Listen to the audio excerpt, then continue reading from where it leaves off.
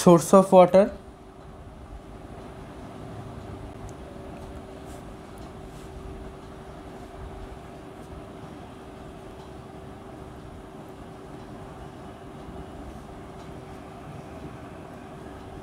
source of ওয়াটারের দুটো type একটা হচ্ছে সারফেস সোর্স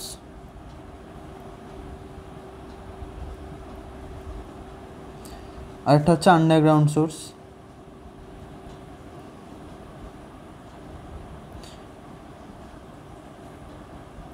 তো সারফেস সোর্স সম্পর্কে অনেকের ধারণা আগে থেকে হয়ে আছে বা অনেকেই জানে যে সারফেস সোর্স বলতে কী কী বোঝায়? জেনারেলি যেমন রিভার আর স্ট্রিম হচ্ছে একটা সারফেস সোর্সের উদাহরণ। যেমন পন্ড অর লেকস এগুলো সম্পর্কে সবাই জানে প্রায়, ঠিক আছে? তারপর হচ্ছে স্টোরেজ রিজার্ভার স্টোরেজ রিজার্ভারটা কীরকম কনসেপ্টটা ইরিগেশনে যেমন আমরা পড়েছিলাম ড্যাম বান্দার ইরিগেশন মানে একটা টেম্পোরারি মানে যেখান দিয়ে আর কি বৃষ্টির জল যায়, সাধারণত একটা টেম্পোরারি একটা সোর্স ঠিক আছে? এরকম যদি হয় যে শুধুমাত্র বৃষ্টির জল যায় একটা জায়গা দিয়ে বা বৃষ্টির জলের সময় জায়গাটা ভরে, তো এরকম একটা জায়গায় আমরা যদি একটা ড্যাম তৈরি করে দিই বা একটা কিছুতে বেঁধে দিই আর কি, ঠিক আছে? তাহলে কী হবে? তো বৃষ্টির জল দিয়ে যদি যায়, সেই জায়গাটা যদি সোর্স বৃষ্টির জল হয়ে থাকে মানে যেগুলো আর কি সারা বছর জল সাপ্লাই হয় না, এরকম যদি সোর্স পাই আমরা, তো সেখানে যদি আমরা একটু বেঁধে দিই, সেটা ড্যাম দিয়ে হোক বা অন্য কোনো কারণে, ঠিক আছে? ড্যামই সাধারণত বলে ড্যাম দিয়ে সাধারণত আমরা বাঁধি। তো তাহলে কী হয়? জলটা জমা হয়ে যায় এবং ওখান থেকে আমরা বিভিন্ন রকম ইরিগেশন ওয়াটার সাপ্লাই স্কিম বিভিন্ন রকম কাজ করতে পারি। তো এটা হলো, এটাকে বলা হয় স্টোরেজ রিজার্ভার ঠিক আছে?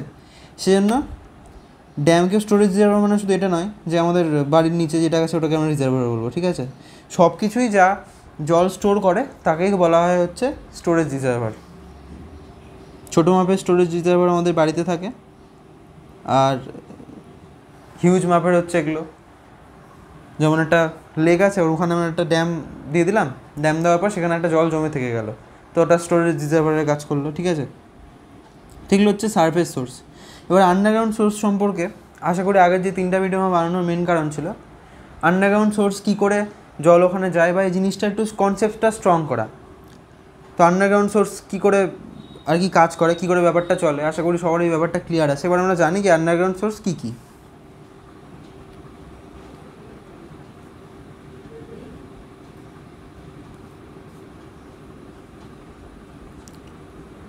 প্রথমটা হচ্ছে ইনফিল্ট্রেশন ওয়েল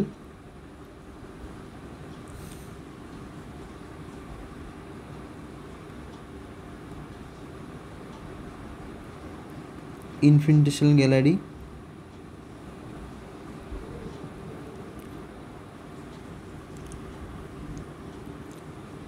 তারপরটা হচ্ছে স্প্রিং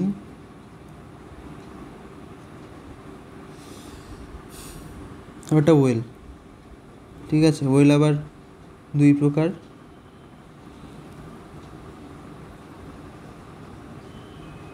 ওপেন ওয়েল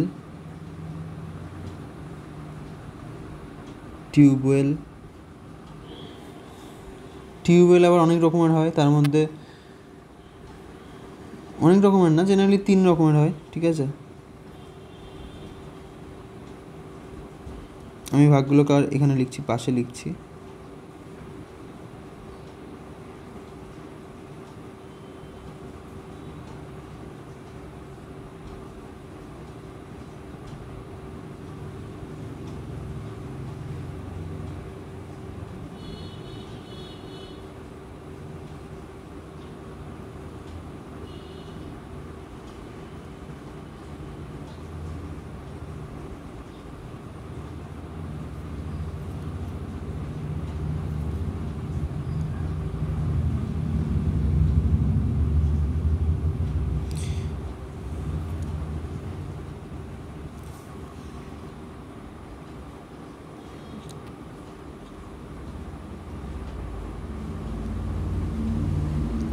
টিউবওয়েলের হচ্ছে, একটা হচ্ছে প্রথমটা হচ্ছে স্ট্রেনার টাইপ।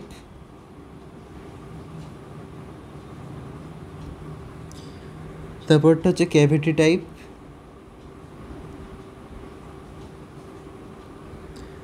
তারপরটা হচ্ছে স্লটেড টাইপ।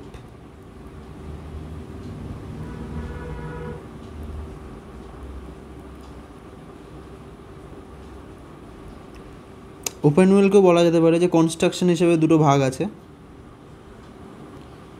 ঠিক আছে। ওপেন ওয়েলের দুটো ভাগ হচ্ছে। লাইন্ড ওপেন ওয়েল আর আনলাইন্ড ওপেন ওয়েল একটা একটা করে বুঝি একটু কী জিনিস।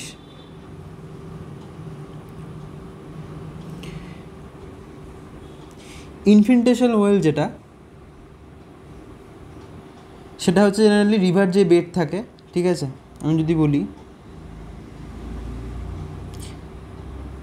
এটা সাপোজ বেড যেভাবে না করে আর কি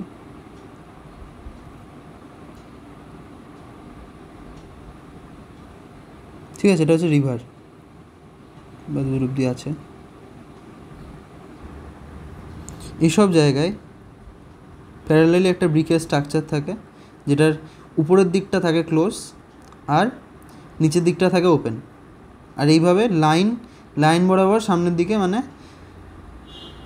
বেডের যেটা আর কি পেডিফেরি বা পরিধি যেটাকে বলে, সেই পরিধি বরাবর আর কি বসানো থাকে। সো এটা তো পন দেখলাম আমি রিভার এই যে রিভার রিভারের যেটা, এই যেরকমভাবে পরপর এই জিনিসগুলো কয়েকটা বসানো থাকে। ঠিক আছে? তো এটাতে কী হয়? এই ইনফিল্ট্রেশন ওয়েল যেটা, সেটা হচ্ছে যতটা জল সিভ করছে এখান দিয়ে, ঠিক আছে? রিভারের সিপিং যে জলগুলো, ঠিক আছে? ওইগুলো হচ্ছে এই কালেক্ট করে ইনফিল্ট্রেশন ওয়েল ওই জন্য ব্রিক দিয়ে বানানো হয়, কারণ ব্রিক দিয়ে আর কি জল যেতে পারে। তো এগুলো হচ্ছে যে সিপ করছে, এই জলগুলোকে কানেক্ট করল। এরপর কি কি? এরপর হচ্ছে যে বিভিন্ন রকমের যে ওয়েল আছে বসানো, যেমন আমি যদি বলি যে রিভারের এটা হচ্ছে আমার ধার, আমি তিনটা দিয়ে দেখাচ্ছি। এই তিনটা কি হয়? একটা পাইপের সাথে মেলে। একটা পাইপের সাথে বলা ভুল হবে। একটা ওয়েলের মতো স্ট্রাকচারে গিয়ে মেশে যে ওয়েলটাকে বলা হয় জ্যাক ওয়েল ঠিক আছে? সামনে আরও আছে, সাপোজ। এটাও গেম মিশলো এখানে। এভাবে আর কি একটা ওয়েলের সাথে মেশে সেটাকে বলা হয় হচ্ছে জ্যাক ওয়েল সেটা হচ্ছে ইনফিল্ডেশন ওয়েলের কনসেপ্ট আচ্ছা ইনফিল্ডেশন গ্যালারি কী জিনিস?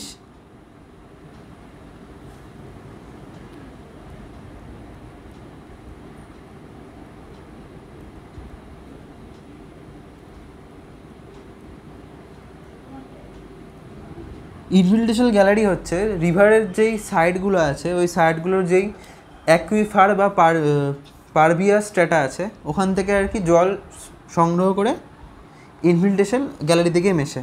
জেনারেলি কোথায় থাকে আমি টিকে দেখাচ্ছি। এটা আমি সাপোজ বলছি যে একটা রিভার রিভারের আর কি একটা ইয়ে ঠিক আছে? রিভারের একটা বেড। তো এটা থাকবে হচ্ছে এসব জায়গায়।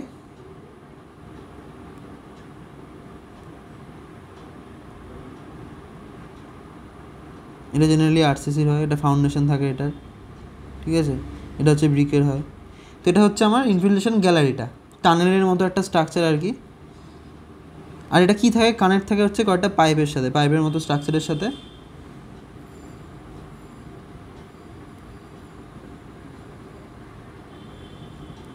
এই আশপাশ থাকবে গ্র্যাভেল এগুলো হচ্ছে সেই পাইপগুলো মাঝখানে যে পাইপ যেগুলো সেই পাইপগুলো এগুলো হচ্ছে গ্র্যাভেল তো এই পাইপগুলো কী করে? এগুলোকে বলা হচ্ছে পোরাস ড্রেন পাইপ। ঠিক আছে, পাইপগুলো কী করে?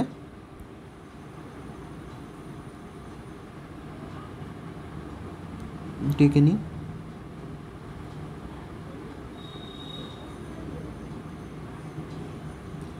যাই এরকম পাইপগুলো আছে। এই পাইপগুলো হচ্ছে, এই, এর আশেপাশে যেই পারভিয়াস স্ট্যাটা আছে, সেই পারভিয়াস স্ট্যাটা থেকে জল সংগ্রহ করে।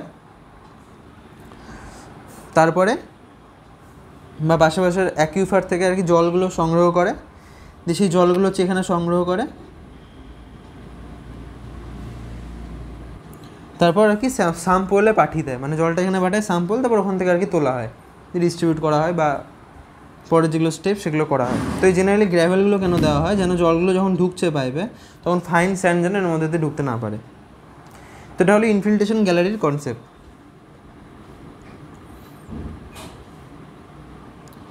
তো এবার আমরা স্প্রিংয়ের কথায় আসি। ঠিক আছে? তো জেনারেলি ন্যাচারাল ফিনোমিনা হচ্ছে স্প্রিং মানে কোথাও দিয়ে যদি ন্যাচারালি জল বেরোয় বা আর্থ সার্ভিস থেকে ন্যাচারালি আর কি জল বেরোচ্ছে, এরকম একটা যেটাকে আউটফ্লো বলে আর কি টেকনিক্যাল টার্মে তো সেই ব্যাপারটাকে বলা হয় স্প্রিং জেনারেলি এটা কখন দেখা যায়? যখন একটা পারভিয়াস লেয়ার দুটো ইমপারভিয়াস লেয়ারের মধ্যে স্যান্ডউইচ হয়ে থাকে। সেই জলে যদি সালফার থাকে, তাহলে সেটা হট স্প্রিংয়ে পরিণত হয়। যাই হোক। স্প্রিং হচ্ছে, এই হচ্ছে কনসেপ্ট যে যদি ন্যাচারালি আউটফ্লো হয় কোনো একটা জায়গা থেকে জলে, তাহলে সেটাকে বলা হচ্ছে স্প্রিং স্প্রিং আবার তিন ভাগে মানে তিন রকমের আর কি স্প্রিং হয়। একটা হচ্ছে গ্র্যাভিটি স্প্রিং এক্ষেত্রে কি হয়? আমি ছবি দেখাচ্ছি একটা। এটা হচ্ছে আমার একটা মাটির মতো লেয়ার আছে, যেখানে হচ্ছে, এটা হচ্ছে আমার গ্রাউন্ড ওয়াটার টেবিল ঠিক আছে? গ্রাউন্ড ওয়াটার টেবিল এত দূর উঠে গেছে। তো এই ক্ষেত্রে এখান থেকে জল ফ্লো করবে। তো এই ফ্লোটা কেন করবে? এটা তো গ্র্যাভিটি ফ্লো তাই তো? এটা তো গ্র্যাভিটি ফ্লো তো এই যে গ্র্যাভিটি ফ্লোয়ের জন্য যেই স্প্রিংটা তৈরি হচ্ছে, বা গ্র্যাভিটি ফ্লো নেচারের জন্য যে স্প্রিংটা তৈরি হচ্ছে, ওটাকে বলা হচ্ছে গ্র্যাভিটি স্প্রিং এরপরটাকে বলা হচ্ছে সারফেস স্প্রিং জেনারেলি যদি একটা ইম্পারভিয়াস অবস্ট্রাকশন চলে আসে আর কি, কীরকম ছবিটা দেখাচ্ছি সারফেসিংয়ের কনসেপ্টটা আচ্ছা আমি যদি এই ছবিটাতেই ধরি আমি যদি এই ছবিটারই কথা বলি ঠিক আছে?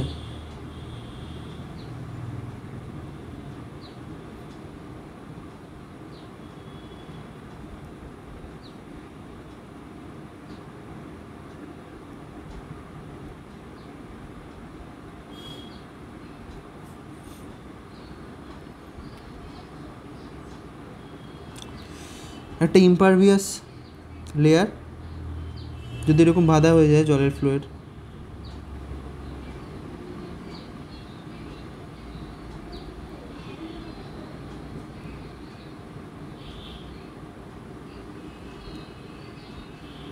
এটা হচ্ছে ইম্পারভিয়াস একটা লেয়ার এটা হচ্ছে ওয়াটার টেবিলটা আছে। তো এরকম ক্ষেত্রে যদি, বা যেই স্প্রিংটা তৈরি হয়, এটা হচ্ছে ওয়াটার টেবিল তো এই ক্ষেত্রে যে স্প্রিংটা তৈরি হয় এটাকে বলা হচ্ছে সার্ভে স্প্রিং।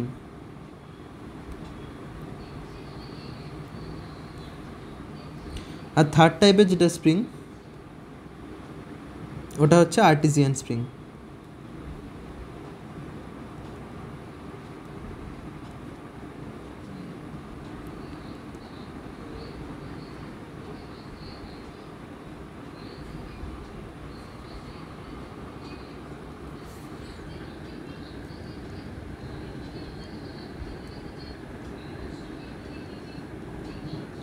আর্টিজিয়ান নামটা আমরা আগেই পরিচিত আর্টিজিয়ান নামটার সাথে। যখন আমরা কি পড়েছিলাম? আর্টিজিয়ান অ্যাকুইফায়ার পড়েছিলাম। হ্যাঁ কনসেপ্টটা ওরকমই। যখন একটা পারভিয়াস লেয়ার দুটো ইম্পারভিয়াস লেয়ারের মধ্যে স্যান্ডউইচ হয়ে থাকে, এটা হচ্ছে একটা ইম্পারভিয়াস লেয়ার সাপোজ এখানে একটা পারভিয়াস লেয়ার আছে। ইম পারভিয়াস পারভিয়াস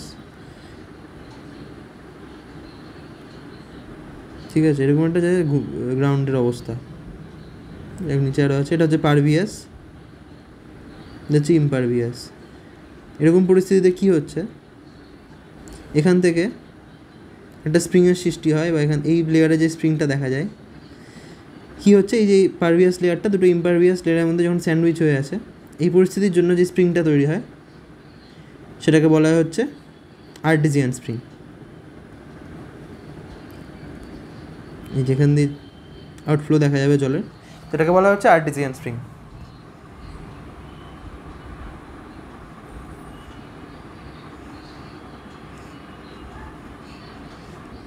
আচ্ছা ওয়েলের কনসেপ্ট তো সবারই প্রায় হয়েই আছে, আশা করি। ওয়েল কী জিনিস? একটা হচ্ছে ওপেন ওয়েল মানে যে থাকে না, ইটের বাঁধানো থাকে, বালতির সব উপরে দড়ি লাগানো থাকে বালতি দিয়ে দিয়ে জল তুলি, সেটাকে বলা হচ্ছে ওপেন ওয়েল আর হচ্ছে টিউবওয়েল, এবার একটু ডিটেলসে বা টার্ম করে মানে কী কী ব্যাপার আছে, বা টার্মগুলো আমরা একটু ডিটেলসে জেনে নিই। টিউবওয়েল তো সবাই দেখেছে। যেটা মাটির তল থেকে আর কি হ্যান্ড পাম্পের সাহায্যে আমরা জল তুলি যেটা, ঠিক আছে? ওটা হচ্ছে টিউবওয়েল। আচ্ছা ওপেন ওয়েলের দুটো ভাগ আছে, একটা হচ্ছে লাইনিং একটা হচ্ছে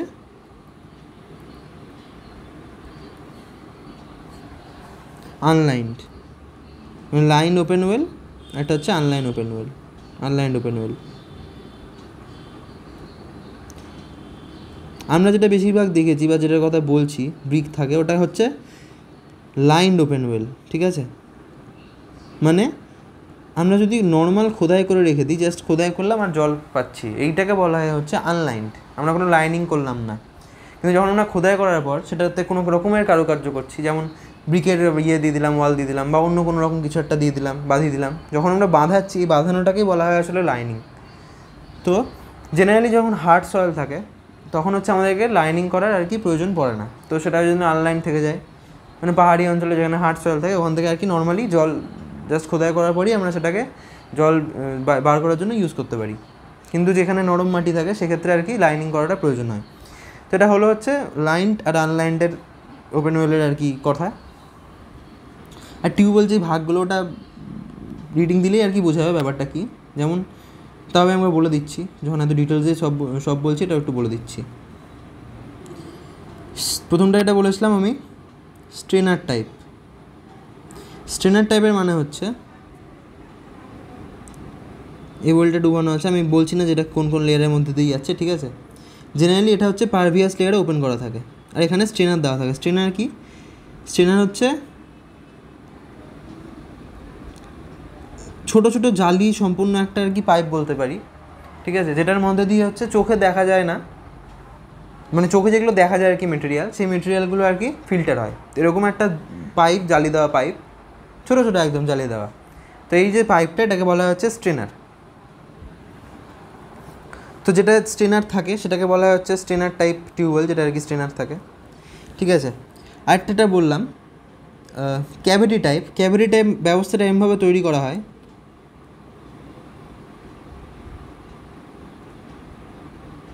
মানে ক্যাভিটি টাইপ ওয়েল এমনভাবে তৈরি করা হয়, যেন ওয়েলটার চারিদিকে কোর্স স্যান্ডের একটা আস্তরণ হয়ে যায়। কোর্স স্যান্ডের ঠিক আছে? এটা হচ্ছে কোর্স স্যান্ডের একটা লেয়ার বা রিং তৈরি হয়ে যায়। এটা কিন্তু থ্রি ডি হ্যাঁ? টু ডিতে এইভাবে দেখাচ্ছে, মনে হচ্ছে যে ইয়ে আর কি। কিন্তু এটা অর্ধগোলক শেপের একটা রিং তৈরি হয়ে যায় কোর্স স্যান্ডের এমন ব্যবস্থায় তৈরি করা হয়। তার জন্য ওটাতে স্ট্রেনারের দরকার পড়ে না। এই কোর্স স্যান্ডের ইয়ে দিয়ে হয়ে আর কি ফিল্টার হয়ে জলের মধ্যে ঢুকে। ক্লিয়ার ওয়াটার এখানে একটা ক্লিয়ার ওয়াটার পুল তৈরি হয়।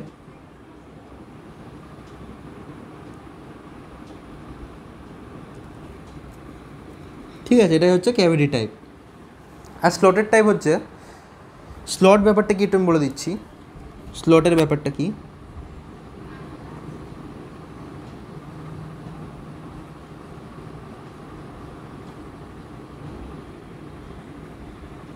স্লট হচ্ছে, এর আগে আমরা এটা স্ট্রেনার পড়েছিলাম, ওটার হচ্ছে ছিদ্রটা অতিরিক্ত ছোট ছিল, কিন্তু স্লটের ছিদ্রটা হচ্ছে একটু বড় হয়, ঠিক আছে? প্রথমে আমরা কি হচ্ছে দুটো পাইপ ইউজ করা হয়। একটাকে বলা হচ্ছে ওয়েল পাইপ আর একটাকে বলা হচ্ছে কেসিং পাইল, পাইপ। প্রথমে হচ্ছে ওয়েল পাইপকে ডুবিয়ে দেওয়া হয়। ছবিটা খুব বাজে হচ্ছে আঁকা সরি ভালো করে আঁকছি। বলছি হিসাব আছে মাটির লেয়ার প্রথমে হচ্ছে ওয়েল পাইপকে ডুবিয়ে দেওয়া হলো। যে ওয়েল পাইপের নিচে থাকে হচ্ছে স্লট স্লট মানে হচ্ছে এরকম ছোটো ছোটো ছিদ্র, পুরো পাইপের চারিদিকে এরকমভাবে ছোটো ছোটো ছিদ্র হয়ে থাকে।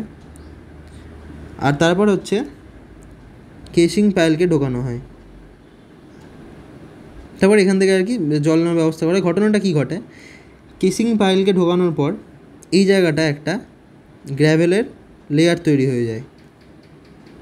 ঠিক আছে, গ্র্যাভেলের লেয়ার তৈরি হয়ে যায়। এই জায়গাগুলো তো স্লট তো আছেই। কেসিং সাপোজ এত দূর আছে। এই জায়গাগুলো কী হয়? একটা গ্র্যাভেলের লেয়ার তৈরি হয়ে যায়। তাহলে অটোমেটিক জল, সুন্দর জল ফিল্টার হয়ে চলে যায় পরে। তো এটাকেই বলা হচ্ছে স্লটেড টাইপ এই হচ্ছে কনসেপ্টগুলো আমি বলে দিলাম, এতটা ডিটেলসে বলে দিলাম সব কিছুই একদম বলে দিলাম। নিজেদেরকে যা সামান্য কিছু পড়ার যে এই জিনিসগুলো একটু মানে সামান্য কিছু রিডিং দিয়ে আর কি বোঝার ব্যাপারটা আর একটু ভালো হবে। মানে রিডিং দিয়ে পড়লে একটু ডিটেলসে জানা যাবে, ঠিক আছে? এই হচ্ছে কনসেপ্ট মেন কনসেপ্টগুলো হচ্ছে এটাই। তাহলে আমরা মোটামুটি সোর্স অফ ওয়াটারকে আমরা প্রচণ্ড ডিটেলসে এবং খুব ভালো মতো কনসেপ্টচুয়ালি আলোচনা করলাম। ঠিক আছে, যা যা কনসেপ্ট সম্ভবত হয় সবই সবই আমরা কভার করেছি। যেই যেটা একটু নিজেদের পড়ার জন্য রাখলাম আমি। অবশ্যই খুবই সোজা জিনিস, সেটা নিজেরা ইয়ে করলেই পারা যাবে আর কি। সেটা হচ্ছে সিঙ্কিং অফ ডিপ টিউবওয়েল মানে কী করে ডিপ টিউব টিউবওয়েল আর কি সিঙ্ক করা হয় বা কী করে আর কি ঢোকানো হয়। আর হচ্ছে আর কিছু না, এটাই। সিঙ্কিং অফ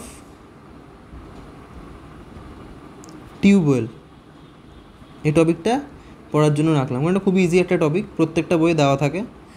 যে বই যে ফলো করুক, সেখানে ছবি সম্পূর্ণ মানে সম্পূর্ণভাবে দেওয়া থাকে। রিডিং দিলে একটা গল্পের মতো বোঝা যায় ব্যাপারটা।